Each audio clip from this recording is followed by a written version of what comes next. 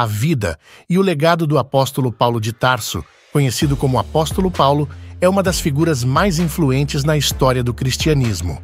Originalmente chamado Saulo, ele nasceu em Tarso, uma cidade da Cilícia, atual Turquia, em uma família judaica da tribo de Benjamim.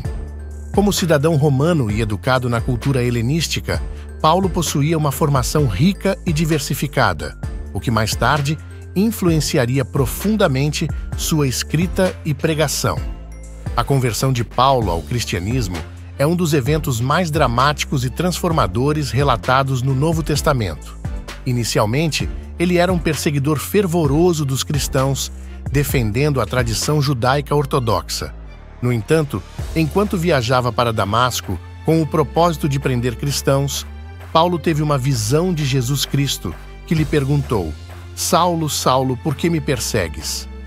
Esse encontro sobrenatural não apenas interrompeu sua missão, mas também reverteu o curso de sua vida.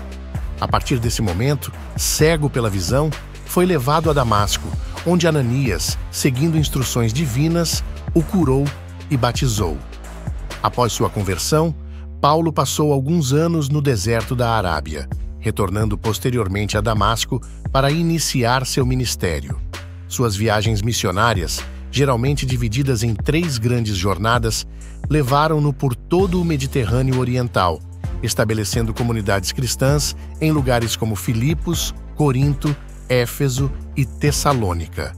Através destas viagens, Paulo enfrentou perigos constantes, oposições intensas e múltiplas prisões, mas sua determinação e fé nunca vacilaram. A teologia paulina, expressa em suas epístolas, forma uma parte significativa do Novo Testamento e serve como fundamento teológico para muitas doutrinas cristãs.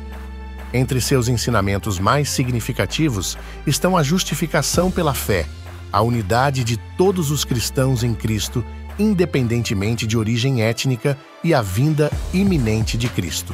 Paulo enfatizou a graça divina e o plano de salvação que se estende a todos os seres humanos, um conceito revolucionário que desafiou as barreiras culturais e religiosas da época. Paulo encontrou seu martírio em Roma, provavelmente decapitado durante a perseguição dos cristãos sob o imperador Nero, sua morte selou seu testemunho e fortaleceu o impacto de suas epístolas e ensinamentos entre as primeiras comunidades cristãs. Hoje, a influência de Paulo permanece notável. Ele não apenas moldou a teologia e a prática cristã, mas também exemplificou uma vida transformada pela fé. Em uma era de divisões e conflitos, a mensagem de Paulo sobre a reconciliação e a graça através de Jesus Cristo continua a oferecer esperança e direção. Seu legado é um testemunho do poder transformador da fé e do amor divino, desafiando cada geração a refletir sobre a profundidade de suas crenças e o alcance de seu testemunho no mundo.